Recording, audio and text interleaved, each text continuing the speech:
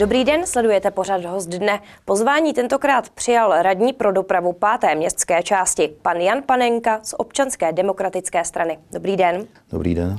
Vy máte v Praze 5 v gesci dopravu a tam je bezesporu jedním z velkých témat stavba Radlické radiály. Tak řekněte, čím je tato stavba pro Prahu klíčová a v jaké fázi je tento projekt? Máte pravdu, Radlická radiála, to je téma, které v Praze už koluje na městské části několik desetiletí, dá se říct.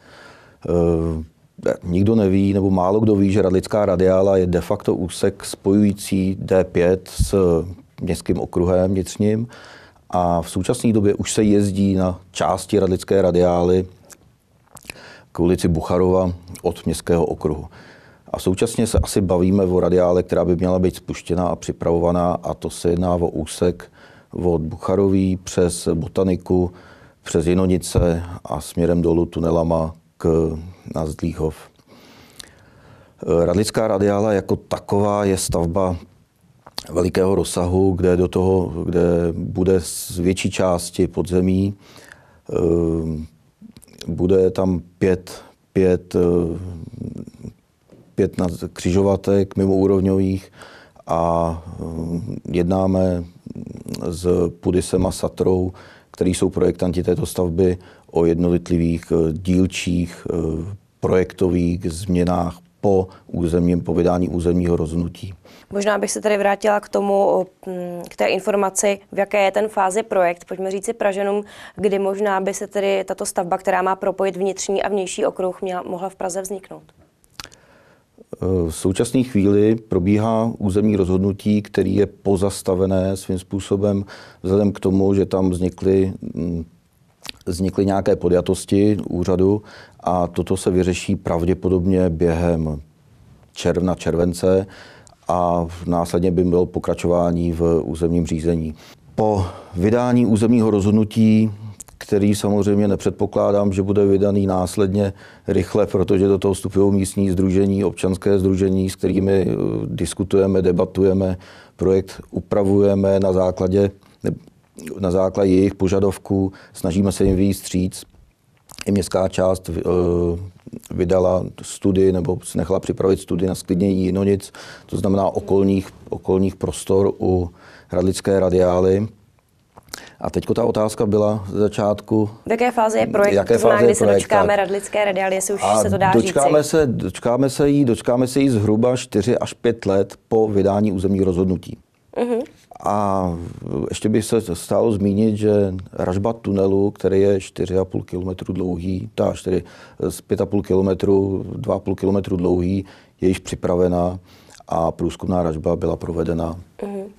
Vy jste zmínil ty místní spolky. Dlouhodobě protestuje řada místních obyvatel právě proti stavbě radlické radiály. Bojí se zvýšení dopravy a zhoršení životního prostředí. Dá se tedy říci, že se toho nemusí obávat, že já se t... liché obavy. Samozřejmě z našeho pohledu jsou to liché obavy, jelikož eh, neexistence radlické radiály má za následek kogesce kolony v ulicích, eh, ničení ulic, eh, takže pokud pokud by byla zprovozněná radlická radiála, tak tam dojde ke snížení emisí, ke snížení intenzity na komunikacích, jako je radlická, jako jsou komunikace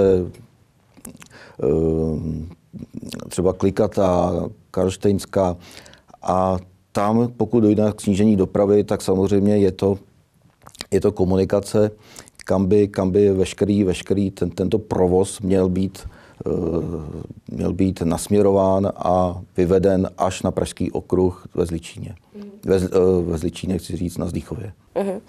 Když se jsme u těch klíčových staveb, tak bez sporu klíčovou stavbou je také Barandovský most.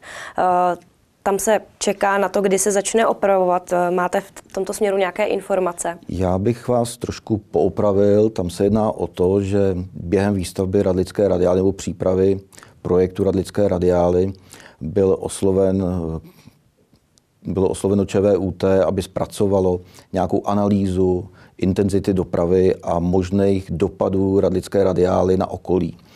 A v této zprávě se hovoří, že pokud nedojde k nějakým úpravám na, i na Barandovském mostě, o kterém hovoříme, tak radlická radiála bude mít trochu problém. Ale to není otázka radlické radiály, to je otázka celé dopravy v Praze, protože doprava se zahušťuje neustále. A pokud, pokud s tím nic neuděláme, třeba s Barandovským mostem, tak je tam ta intenzita velice, velice složitá, kde v současné době tam projíždí až 140 tisíc vozů denně. Hmm, nicméně je jasné, že ten most není v dobrém stavu, musí se opravit, tak eh, most, kdy se začne? Most se má začít opravovat uh, příští rok, tuším.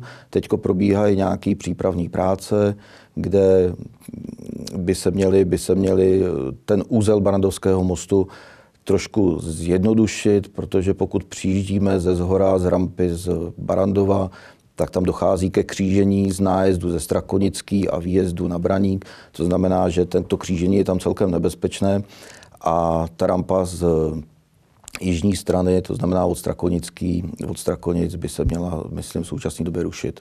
Tolik eh, k té individuální dopravě ve městě, nicméně pojďme se dotknout také té městské hromadné. Tam Ropit plánuje takovou novinku. Mluví se aktuálně o tom, že by autobusové zastávky v Praze byly všechny na znamení. Eh, jak to vidíte vy jako radní pro dopravu? Já samozřejmě o tom něco vím, ale vzhledem k tomu, že se mi to připadá jako taková hurá akce trošku, kde um, sice se tvrdí, že 60% už je na znamení, ale opravdu ty centrální, centrální zastávky si myslím, že by měly zůstat v jakém stavu jsou a v jakém režimu jsou. Když si že Praha má jednu z nejlepších městských hromadných doprav, jako skoro na světě, a člověk přijde a opravdu se může spolehnout na ten jízdní řád, tak pokud to bude rozházené tím, že autobus jednou zastaví, jednou nezastaví, tak ten jízdní řád prostě fungovat nebude. Proč by to podle vás možná nefungovalo? Nějaký konkrétní příklad pojďme uvést. Eh, zastávka, no. oni tvrdí, že to bude rychlejší, že to urychlí tu dopravu. Bude to rychlejší a hovoří tam taky o, o ušetření 5 milionů korun ročně, mm-hmm. což je 5 milionů, to je kapka v moři vzhledem miliardu, desítky miliardovým rozpočtu na hromadnou dopravu. A myslím si, že to nebude fungovat, pokud paní sedí, stará paní sedí někde a ty autobusy vybaveny nejsou a má se zvednout 100 metrů nebo 200 metrů před zastávkou a má si jít někam zazvonit, tak mi to připadá k těm lidem trošku, trošku, trošku drastický a složitý. Jako. Další eh, velké téma je rozhodně terminál Smíchovského nádraží. Ten se má totiž v budoucnu proměnit. Pojďme tedy říct divákům jak a kdy. No, terminál Smíchovského nádraží, um, začnu asi z konce, z konce toho, že je tam několik dopravních uzlů, ať to máme na Knížecí, ať to je parkování autobusu u nádražní ulice, u Smíchovského nádraží, tak eh, vzniká tam nová městská část, dá se říct, Smíchov City, který, který investuje Sekira Group a má vzniknout nový terminál, který by spojil eh, všechny tyhle, ty, tyhle ty eh, oblasti v jedno místo. To znamená, t- dopravní úzel by byl pouze na Smíchovském nádraží terminálu.